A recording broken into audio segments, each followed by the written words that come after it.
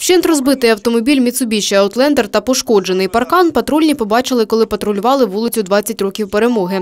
31-річний водій не впорався із керуванням і в'їхав в огорожу кладовища. Під час спілкування інспектори виявили у чоловіка ознаки алкогольного сп'яніння.